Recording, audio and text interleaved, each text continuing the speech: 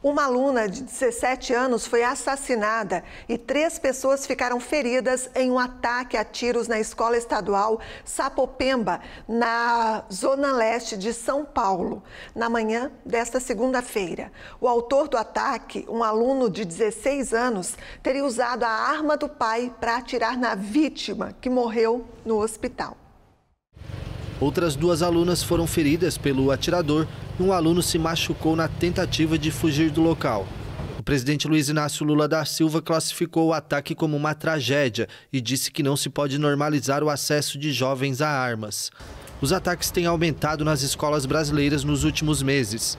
Em março, uma professora de 71 anos foi assassinada a facadas e outras quatro pessoas ficaram feridas em um atentado contra uma escola no bairro de Pinheiros, na zona oeste da capital paulista.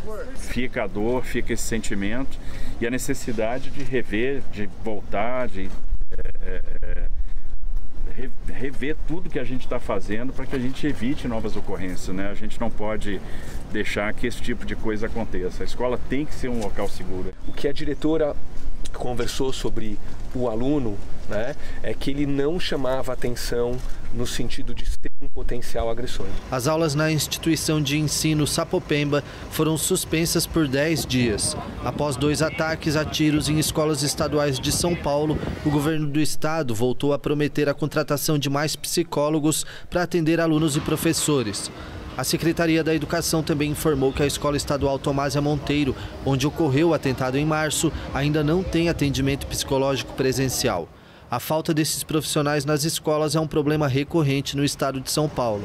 Um questionário feito pelo governo após o ataque a Tomásia Monteiro indicou que a maioria dos alunos apontou como prioridade número um a visita regular de psicólogos às escolas.